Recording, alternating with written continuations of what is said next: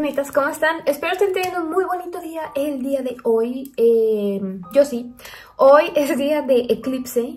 Mm, por ahí les estuve compartiendo en Instagram cómo se veía. Bueno, yo no tomé fotos, pero les platiqué.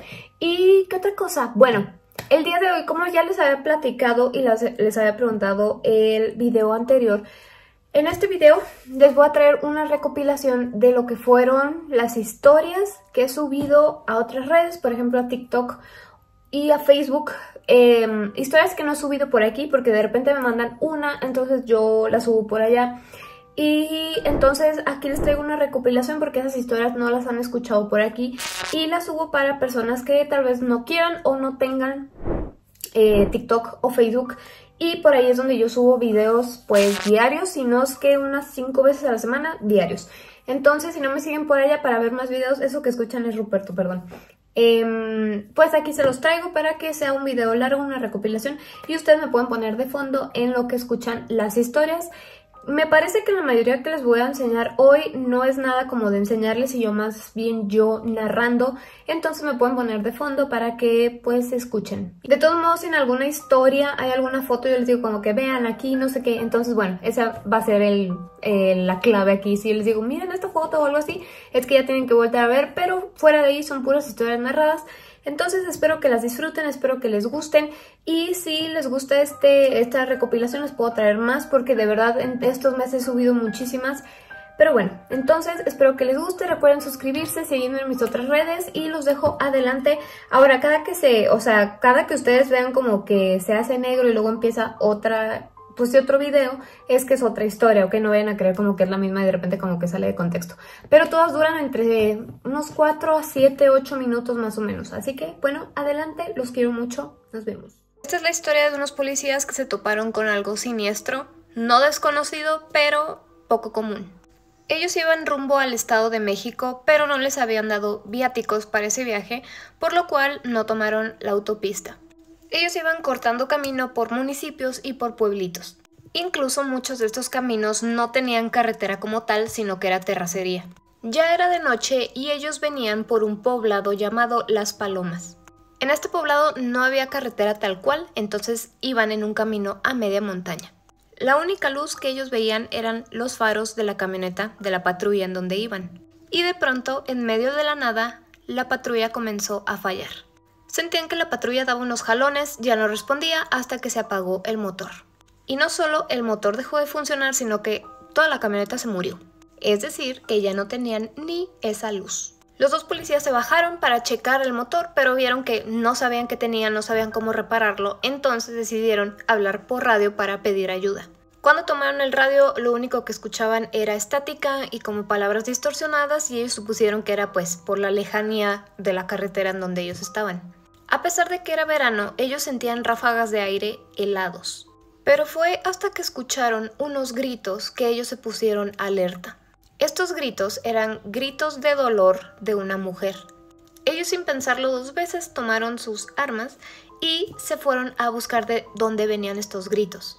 Cuando ellos iban caminando a buscar a la mujer gritando, se dieron cuenta que el sonido venía de diferentes direcciones por lo cual se separaron para cubrir más terreno y encontrarla rápido. Llegaron a una especie de camino oculto y ahí vieron a la mujer.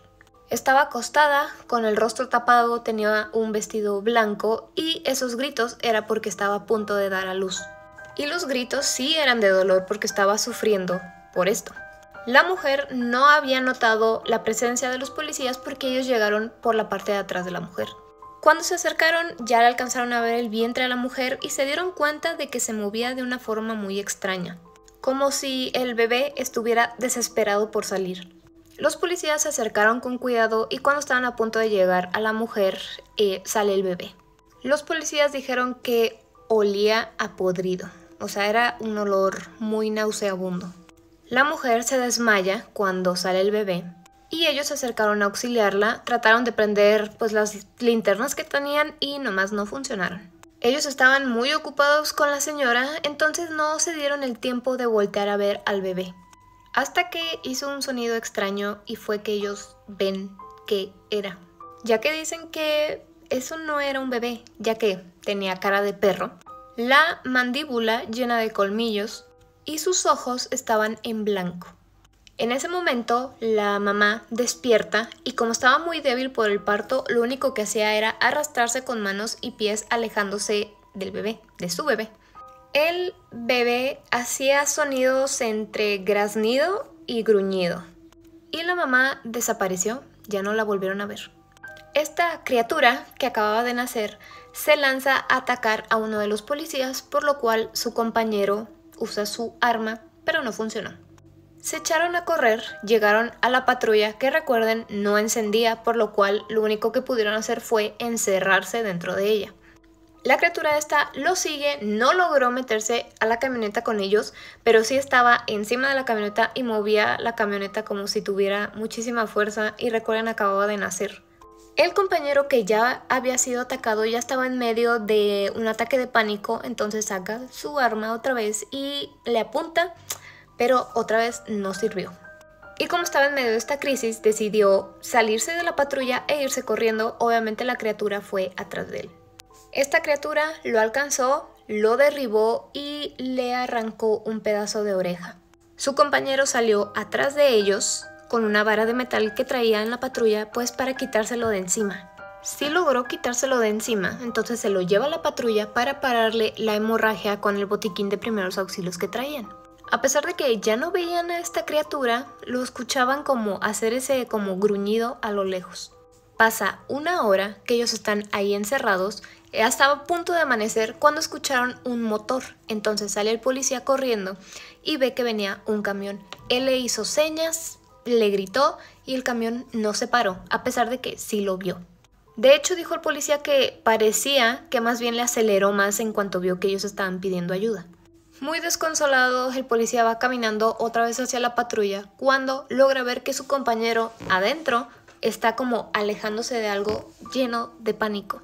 La criatura había regresado, se había subido a la patrulla y estaba tratando de alcanzar a su compañero. Y de nuevo, el compañero sale de la patrulla y se mete hacia la montaña, corriendo, y la criatura tras de él. A pesar de que el otro policía corrió, los persiguió, los buscó, les gritó, no los encontró. Ya no recuerda cuántas horas estuvo buscando a su compañero cuando se topó a una pareja local y les platicó todo y les dijo que si por favor lo llevaban al pueblo para pedir ayuda.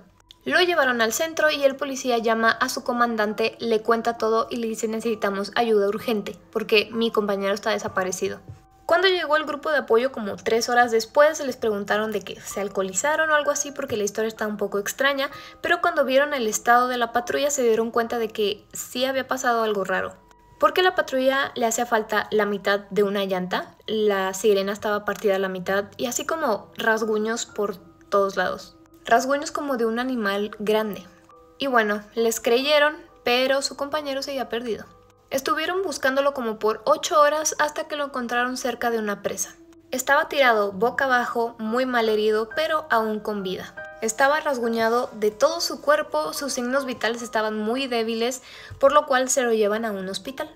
Cuando despierta, el compañero, ya le preguntan qué pasó y él recordaba que si salió corriendo, la criatura iba detrás de él y que logró derribarlo muchas veces y que hacía como por morderle el cuello, pero él se protegía y por eso es que pues no lo dejó sin vida. Al salir del hospital, este policía renunció, ya no quiso regresar a su trabajo y después se dieron cuenta que en ese lugar donde ellos se quedaron había muchas leyendas y muchos avistamientos de nahuales, brujas y demás. Este caso fue contado hace yo creo unos nueve años en el programa de radio de la mano peluda. Mucha gente no le creyó, le dijeron muchas cosas a quien contó esta historia, pero muchos otros, y sobre todo las personas que viven en este tipo de poblados, saben que estas cosas con los nahuales sí pasan. Si les ha pasado algo parecido, escríbanmelo por favor. Les voy a contar una historia un tanto diferente. Ni este ni ninguno de mis videos es con la intención de ofender creencias de alguien, simplemente es la experiencia de una chica. Esta historia empieza con los papás de la chica que ella dice que creen en todo. Es decir, en Jesús, en la Santa Muerte, en brujería, en, en todo. A su papá le gustaba mucho ir a misas de diferente tipo, pero sobre todo le gustaba mucho ir con una persona que le hacía limpias. Además de limpias, le daba baños de buena suerte para que le fuera mejor y mejor en su trabajo y en su vida en general. Ahora es aquí cuando la mamá de esta chica queda embarazada de ella y esta misma persona que le daba los baños de buena suerte a su papá le dijo que alguien le había echado algún tipo de maldición o brujería para que este embarazo no se lograra. Entonces esta persona le dijo, yo te voy a ayudar a quitarte este trabajo que te hicieron, pero lo vamos a hacer en nombre de alguien y ese era del niño Tomasito. No me envió una foto como tal, pero lo que yo estuve googleando es que es más o menos así. Total, con todas las misas que se le ofrecieron a este niño Tomasito, la mamá logró liberarse de ese trabajo que esta persona le dijo que tenía. Entonces, desde que ella nace, la llevan a misas para adorar a este niño Tomasito y agradecerle que pues ella nació. Dice que era por lo menos dos veces a la semana que iban a estas misas. Esto pasó durante años, años ellos varias veces a la semana la llevaban a que diera las gracias, pero mientras ella más crecía y percibía lo que pasaba en esas misas, más miedo le daba ir. Ya que dice que después de esas misas también como que los barrían con hierba y un huevo. Y después le daban ofrendas a este niño Tomasito, que normalmente era una bolsa de dulces porque pues es un niño. Dice que a la hora de entregar la ofrenda se hacía una especie de ritual en la que la señora que hacía la misa se le metía de alguna manera el espíritu del niño Tomasito y ella empezaba a actuar como niña. Primero que nada, ella se quejaba y hacía unos rezos que nadie comprendía. También hacía voz de niño y pronunciaba mal algunas palabras. Preguntaba cosas sin sentido, así como lo haría cualquier niño. Vagaba por el lugar, pasaba en medio de la gente y si iba a pasar algún desastre con alguna persona se lo decía. No había ni una sola vez que no se le acercara a la chica de la historia. Dice que no le decía nada, simplemente se reía y que le daba un dulce y ya se iba como a la siguiente persona. Lo cual les digo, conforme ella iba creciendo y era más consciente de lo que estaba pasando, cada vez se ponía más nerviosa. Después de esto, sus papás empezaron a comprar figuras del niño Tomasito y las llevaban a su casa, pero dice que nunca duraban muchísimo. Pasaba algo bien raro porque si la ponían en una superficie, al ratito aparecía rota, como si se cayera sola, desaparecían las figuras. El caso es que compraban y compraban porque siempre les pasaba algo a las figuras. Y en cuanto sus papás empezaron a traer estas figuras, como que empezaron a manifestarse cosas raras en su casa. Por ejemplo, las cosas se movían de su lugar solas. Parecía como si alguien pasara corriendo al lado tuyo. Escuchaban pasos, cosas de ese estilo que no habían pasado antes. Esta chica comenzó a sentir que eso que estaba en su casa la seguía hasta cuando ella iba a la escuela, porque cuando iba camino hacia la escuela sentía como alguien escondido atrás y cuando ella volteaba veía que alguien se ocultaba pero no era nadie. Ya que se alejaba lo suficiente de su casa, dejaba de pasar esto. Pero la vez que estuvo todo más fuerte fue en una ocasión donde ella estaba jugando con su hermano menor a que se aventaban un peluche. Entonces su hermano se lo avienta, ella no lo alcanza a atrapar y cae abajo de la cama. Su mamá los estaba observando. Entonces cuando la chica apenas se agacha para estirar la mano abajo de la cama, el peluche sale volando pues en dirección contraria. La reacción de su mamá fue comenzar a regañar al niño Tomasito. Y le decía cosas como ya deja de hacerles travesuras, no muevas cosas, etc. Cuando algo se rompía, volvían a repetir esto, regañar al niño Tomasito, que el regaño pues iba como al aire, pero se supone que el niño Tomasito sí lo escuchaba, porque poco a poco empezaron a pasar menos y menos cosas de este estilo. Sus papás ya no compraron más figuras sobre él, hasta que una vez su papá llegó con un cuadro pequeño de esta imagen. Y sus papás le dijeron, eh, bueno, de tanto que hemos regañado al niño Tomasito, ya no les va a hacer ninguna travesura. Cabe aclarar que la chica de la historia como que duda de todo esto, o sea, no le gustaba cómo se sentía, no le gustaban las misas que se hacían en nombre de él ni nada. Porque ella dice, si los niños fantasma no existen, entonces ¿qué es esta cosa a la que le estamos pues, rezando?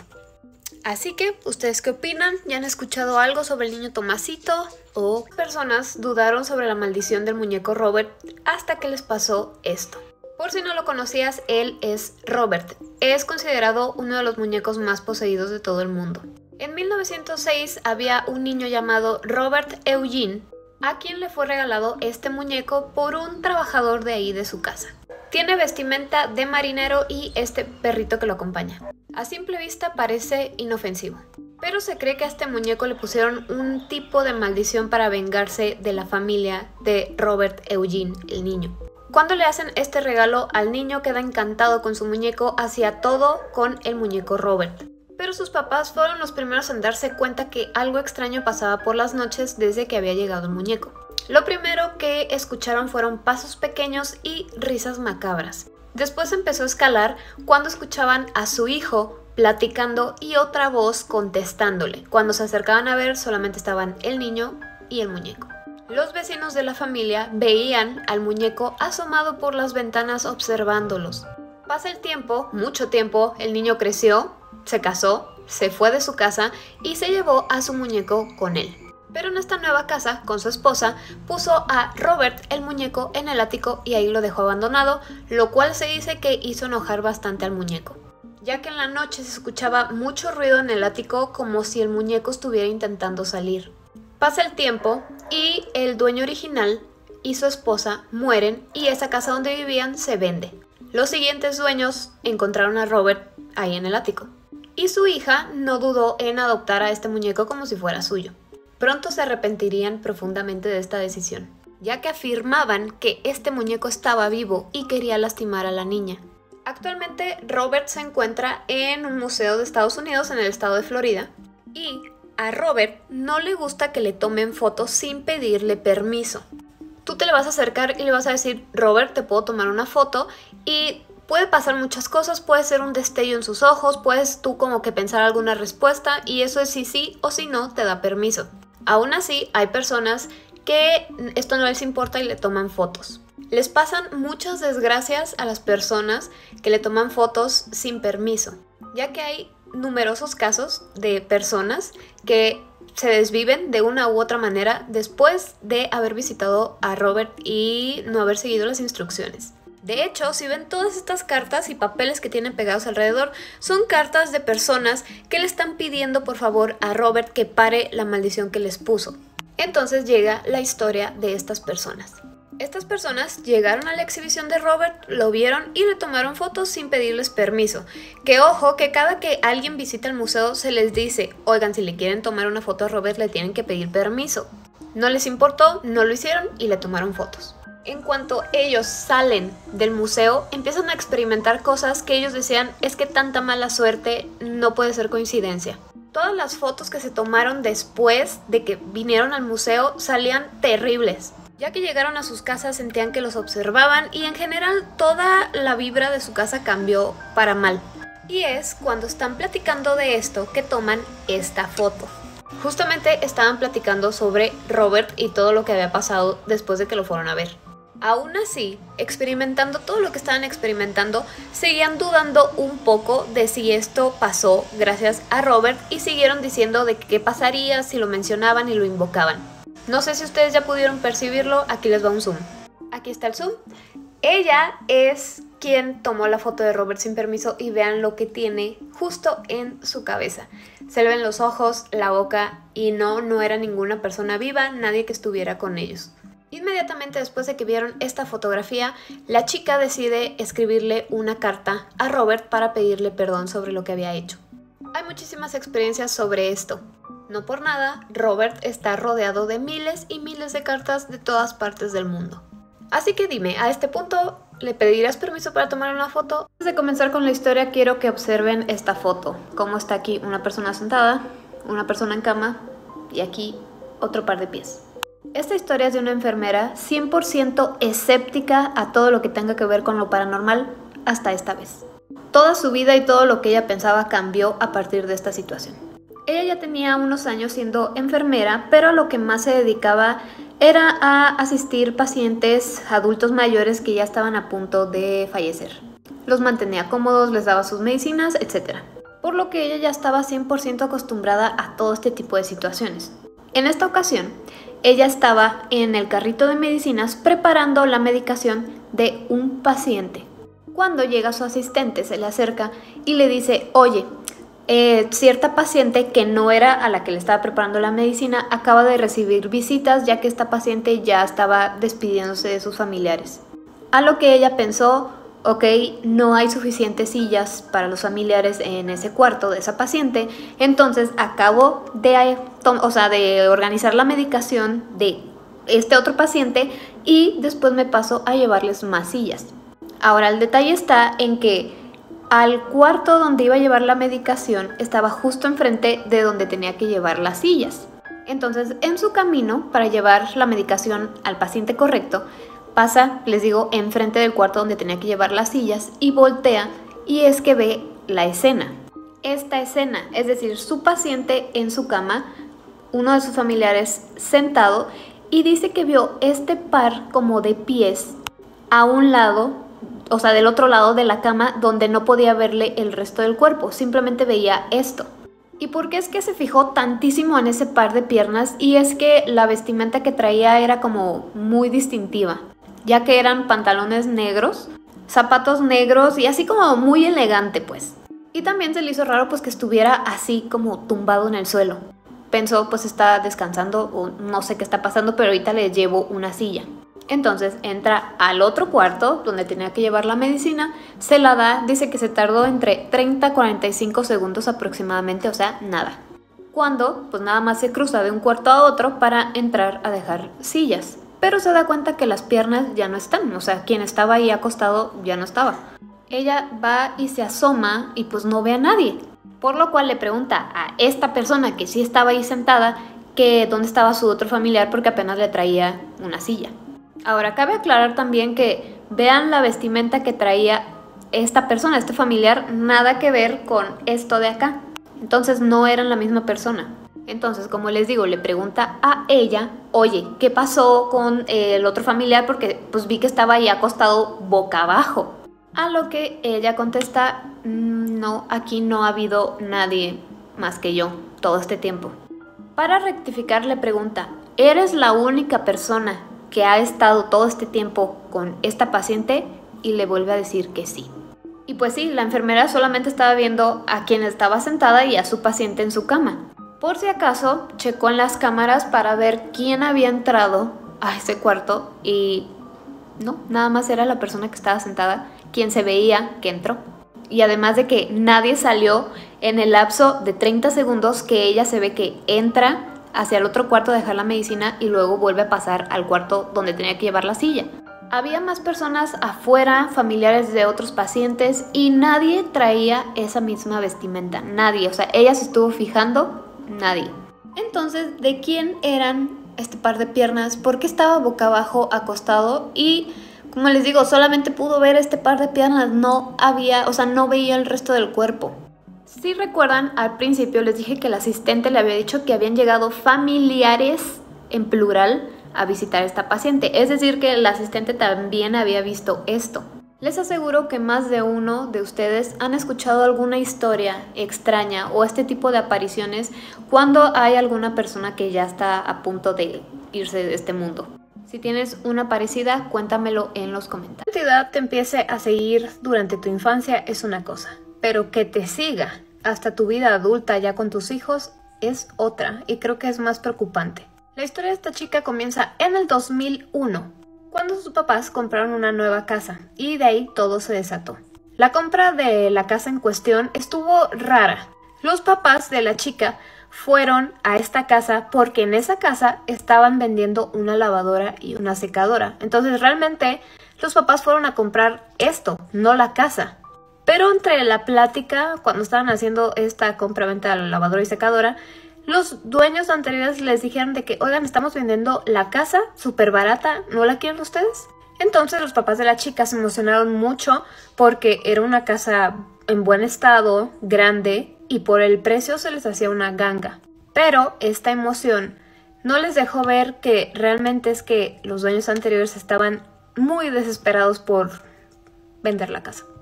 Entonces, pues ya, compran la casa y se mudan ahí. Al pasar unos cuantos meses, la mamá de la chica empieza a ver un niño ahí. Por la estatura, parecía ser que el niño tendría alrededor de unos 5 años. Lo veía especialmente cuando la chica que me envió la historia y sus hermanos estaban en la escuela. Hubo incluso una ocasión donde este niño le llamaba mamá, mamá, mamá en la casa. Les repito, eh, todos los que sí eran niños estaban en la escuela, entonces pues no era ninguno de ellos. Pasó el tiempo y este niño se seguía apareciendo ahí. Pero esta vez se percataban de que escondía cosas de, de los niños, o sea, de los hermanos de la chica, y con el tiempo no solo su mamá veía al niño, sino que todos en la familia lo alcanzaban a ver. Un día platicando su mamá con la vecina, la vecina le hizo un comentario como, ay, es que me sorprende que ustedes ya tengan tantos años en la casa porque han pasado como 10 familias en esta casa y no duran más de dos años. ¿Quién sabe por qué? Para ese entonces ellos ya tenían cuatro años ahí. Total, por una u otra cuestión, la situación económica de esta familia se empezó a poner difícil a tal grado de que vendieron su casa. Se mudan y pasó un tiempo considerable al grado de que la chica que envía la historia se embaraza de su primer hijo. Su mamá estaba eh, vuelta loca de felicidad, era el primer nieto y ya saben. Pero, en cuanto el bebé nace, y esto lo he escuchado ya en muchas ocasiones, en cuanto el bebé nace, las cosas empiezan a ponerse feas. Incluso peores de cuando veían al niño al principio, que todos eran niños. Ya que esta cosa, lo que haya sido que estaba ahí en su casa, ahora molestaba al bebé. Lo curioso es que seguían viendo al niño, pero ahora rondando al bebé. Recuerden que antes cuando todos eran niños en, la casa de sus papás, como que molestaba más a los hermanos y a su mamá, pero esta vez estaba con el bebé. Y lo vieron, les digo, múltiples veces alrededor de la cuna del bebé y de las cosas del bebé. Ojo aquí que ellos se cambiaron de casa muchas veces, se cambiaron de ciudad y esa cosa los perseguía. Entonces esta chica, la de la historia, en la actualidad ya vive en su propia casa con su esposo y su bebé. Y no pasó mucho tiempo de que se fueron a esta casa cuando empezaron a pasar cosas. Lo primero que notaron fue que los juguetes de su bebé se movían y sonaban solos. En una ocasión, ya era de noche, y escucharon que tocaban la puerta de su casa. Ahora, esto era imposible porque para pasar a la puerta de la casa tenían que primero pasar el portón. Es decir, que si alguien estaba tocando en la calle, tocaban el portón, no en la puerta principal de la casa. Espero que sí me esté dando a entender. El esposo de la chica como que se paró para abrir la puerta y la chica le dijo, no la abras, no, no es nadie. Y su esposo le dijo, no, a ver, déjame ver quién es y abrió la puerta. En cuanto abre la puerta, tenían un perro, el perro se acercó a la puerta, empieza a gruñir y empezaba a oler como alrededor del esposo de la chica y ladraba más. Esa misma noche que abrieron la puerta al escuchar que estaban tocando, sentían que estaban los tres en su cuarto, ¿no? El esposo, la chica y su bebé. Escuchaban como alguien se acercaba caminando. Bueno, por decir alguien, porque dice que realmente se escuchaba como, como pezuñas, básicamente. Como alguien pesado, pero con pezuñas, se acercaba caminando hacia el cuarto tan pesado que incluso rechinaba cuando iba como pisando la madera. Y si ustedes dicen hasta este punto, bueno, a lo mejor era el perrito, el perrito era un shih tzu, o sea, no chiquito, ni al caso.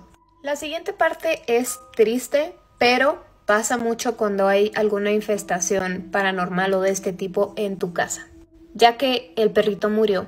De una forma totalmente desconocida, em, ya llevaron el cuerpecito pues al veterinario y el veterinario les dijo, no tengo idea. No hay nada que yo pueda decir que por esto murió. Dice que lo único raro es que el cuello del perrito como que estaba arqueado. O sea, es muy raro. Que incluso el veterinario dijo que él nunca había visto nada así.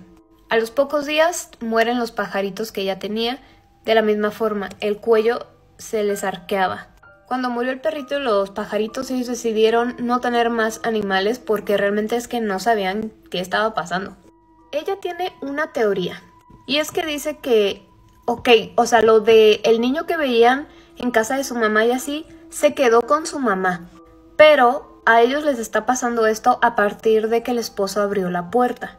Entonces ella cree y le preguntó como a varias personas y le dijeron que más bien alguien la tiene como trabajada.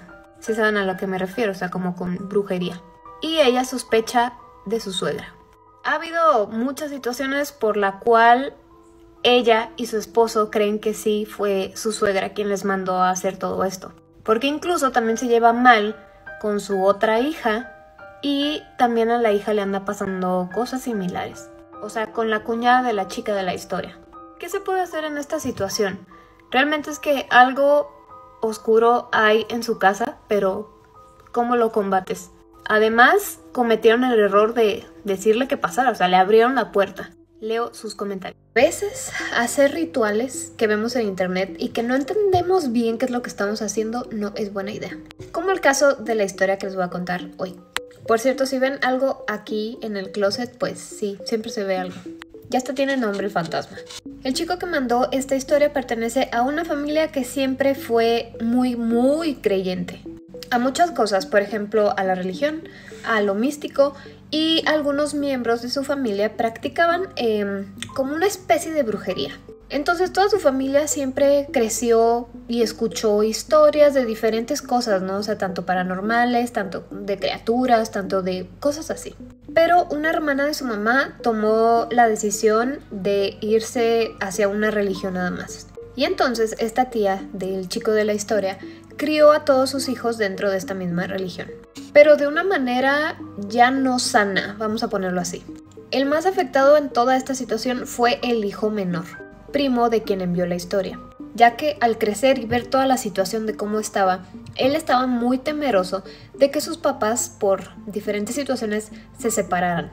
Entonces, con este miedo que el niño sentía, empezó a buscar en internet rituales para que sus papás se quedaran juntos. Y rituales oscuros. Y a ver, ojo que dice rituales, o sea, no nada más hizo uno, hizo varios. Y eran rituales muy, muy pesados. Tanto que sus papás comienzan a ver cómo poco a poco su hijo menor empieza a decaer, su personalidad comienza a cambiar y que las cosas en su casa se estaban poniendo un tanto extrañas. Esta casa en cuestión tenía una vibra muy fea, ya no solo para los miembros de la familia que vivían ahí, sino para los demás. La vibra de la casa estaba muy pesada, la casa de repente se ponía como muy oscura y estaba muy calurosa. Al contrario de otras situaciones donde he oído que empiezan a pasar cosas raras y de repente cuartos se ponen muy fríos, pues acá era al contrario. Si ellos están en invierno, adentro de la casa estaba hirviendo la casa. Entonces los papás de este chico toman la decisión de mudarse momentáneamente a casa del chico que nos envía la historia. ¿Y por qué a esta casa en específico? Pues bueno, en la ciudad donde estaba esta casa, donde vivía el chico, había un padre que era famoso porque había hecho ya varios exorcismos y era precisamente lo que le querían hacer a este niño. Y lo llevan. Lo que nos esperaban era que todo empeoró. Todos los primos dormían en un solo cuarto, eran cuatro personas en un cuarto. De esos cuatro, uno era el poseído y los otros tres no. Todas las noches, los otros tres primos tenían que aguantar que el primo poseído se riera por las noches con una voz que no era la suya hablaba en idiomas extraños que no conocían. Y no sé si les ha pasado alguna vez que ustedes están dormidos pero sienten que alguien los está viendo y eso los hace despertarse. Bueno, en más de una ocasión a estos tres primos les pasó esto y cuando abrían los ojos descubrían que el primo poseído los estaba viendo directamente quién sabe hace cuántas horas. El punto crítico de esta historia fue que una noche estaban los cuatro primos ya en su cuarto y las mamás estaban en la cocina discutiendo pues cuáles eran los próximos pasos a seguir para solucionar esta situación. El primo poseído se levantó del cuarto de la nada y se fue sin decir nada. Momentos después de que el primo salió del cuarto se empiezan a escuchar unos gritos horribles de él en otro cuarto. Obviamente todos salieron corriendo para ver qué estaba pasando y cuando vieron, los adultos decidieron que los otros tres niños los iban a separar en diferentes cuartos y que al primo poseído le iban a hacer rituales japoneses que su mamá practicaba. Ahora, cuando a cada uno lo ponen en un cuarto separado, las cosas se empiezan a poner bien turbias para cada uno de ellos. Uno de los primos estaba en un cuarto con la luz prendida y él decía que no había manera de que se hiciera una sombra en la pared y se moviera, ya que él era el único en el cuarto. Otro de sus primos escuchaba dentro de su cuarto, donde también estaba solo, rezos de voces ajenas a sus papás o a sus mamás, o cualquiera de su familia. Y el tercer primo escuchaba pasos dentro de su habitación que se acercaban a él, se alejaban, como que corrían, se tropezaban y demás. Mientras le practicaban el exorcismo o estos rituales japoneses, pues tardó un tiempo. Al día siguiente llevaron otra vez al primo poseído con el padre y después de ahí como que poco a poco comenzó a mejorar la cosa. Para toda la familia esta fue una experiencia horrible, pero sobre todo para los primos porque algunos de ellos tenían solo 10 años. Y con esta es otra historia de rituales que nos hacen creer una cosa pero al final son otra cosa totalmente diferente. ¿Les ha pasado algo parecido a ustedes? Díganmelo en los comentarios. Y recuerden que si tienen una historia aquí, les dejo el mail para que ustedes me la envíen.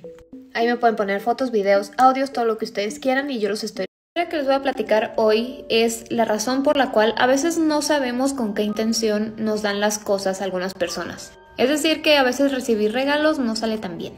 Esta historia la platicaron en un live que hicimos donde ustedes pueden contar sus experiencias paranormales en vivo. Si quieren más detalles se los voy a decir al final por si quisieran participar. Este chico platicó que una mujer le regaló a su papá una colección como de payasos de porcelana.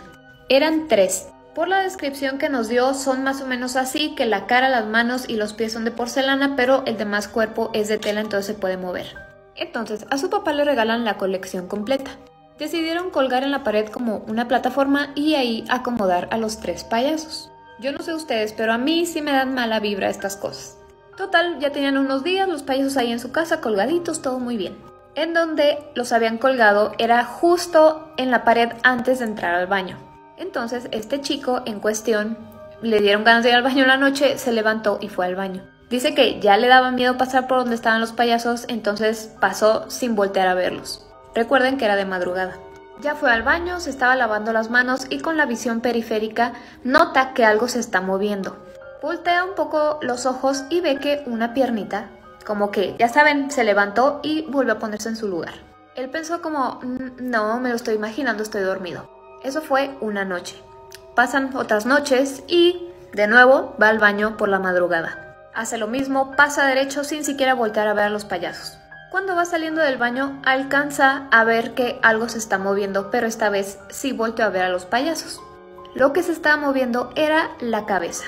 El movimiento que estaba haciendo era que se estaba acomodando la cabeza así, derecha, como si lo hubieran volteado a ver, pero como él se dio cuenta, estaba poniendo su cabeza el payaso en posición original. Esto lo asustó terriblemente, se fue a su cuarto, no dijo nada porque pensó, pues yo ya estoy grande, si le digo a mis papás se van a burlar de mí, de que me dan miedo los payasos. A partir de esta noche él hacía de todo para no salir de su cuarto ya cuando era de madrugada. Pasan unos días más y bueno, era de, pues ya en la mañana, se levanta, sus papás ya están desayunando en la cocina y escucha cómo su papá le está diciendo a su mamá que le pasó exactamente lo mismo que a él. Es decir, que fue al baño, alcanza a notar que algo se está moviendo y cuando voltea en dirección a donde algo se mueve, ve que la cabeza está girando. Igualito que el chico de la historia, como si el payaso lo estuviera viendo y luego pone su cabeza en posición original.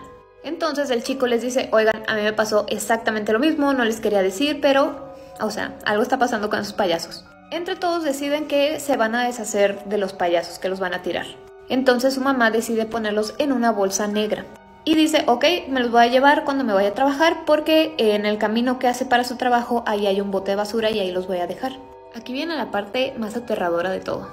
Desde una noche antes, su mamá pone los payasos en la bolsa negra y los prepara para el día siguiente porque se iba muy temprano. Entonces ya sale de su casa con todo y la bolsa de basura y nota que conforme va caminando, la bolsa con los payasos que cuánto puede pesar un kilo a lo mucho, mientras más pasaba el tiempo se le iba haciendo más y más y más pesada. Al punto en el que casi la iba arrastrando de que ya no podía con el peso. Solo traía los payasos y cuando salió de su casa la cargaba perfectamente. Mientras eh, la señora iba pensando en esto de que, ¿qué onda con la bolsa? porque se está haciendo más pesada? Se empieza a dar cuenta que está muy sola en la calle y se empieza a poner nerviosa. Entonces, de lejos ve que viene otra señora caminando y se tranquiliza un poco porque dijo, ay, bueno, viene alguien. Esto es lo peor, porque cuando se va acercando esta persona a la señora, a la mamá de este chico, eh, nota que tiene la cabeza así como agachada, es decir, que le veía como de aquí para arriba nada más. Cuando están a punto de cruzarse frente a frente, es que ve que era eso. Cuando pasan de frente, la persona que venía levanta la cara y la señora ve que no tiene labios. O sea, como si se los hubieran arrancado y se le veían los dientes nada más. Obviamente la señora, la mamá de este chico, se le queda viendo, pues estaba muy impresionante la imagen. Y esta persona, les digo, la que no, o sea, se le veían los dientes, la voltea a ver y luego voltea a ver a la bolsa. La señora ya estaba desesperada por largar la bolsa en donde sea. Llega por fin a donde está el basurero, tira la bolsa y ya se va a su trabajo. Cuando llega a casa ya le cuenta pues al chico de la historia y a su esposo. Y ellos pues cuentan la historia completa a más personas con el paso del tiempo. Y aquí les dan diferentes como teorías. Una de ellas, saben que los payasos traían algún tipo de brujería para hacerles algo. Y la número dos es que no saben de dónde venían estos payasos, no saben si, eran nuevos, no saben a quién pertenecían antes, si traían alguna mala vibra por ahí pegada, pero lo mejor fue deshacerse de ellos. Y es que véanlos, yo sé que hay personas que les gusta, pero yo no podría. Sobre todo si son como antiguos, que ya tuvieron muchos dueños antes, es un no para mí. Ahora les voy a platicar rápidamente la dinámica para que ustedes me cuenten las experiencias paranormales en vivo. Estos en vivos los transmitimos en el canal, en el mío y en el de mi amigo Hablemos de lo que no existe. Estamos haciendo dos por semana, uno en su canal y otro en el mío. Les damos un número para que ustedes se comuniquen. Los estamos haciendo lunes y miércoles. Pero si hay algún cambio de horario, lo que sea, mejor síganme por aquí en la aplicación de la camarita. Porque ahí les estoy avisando.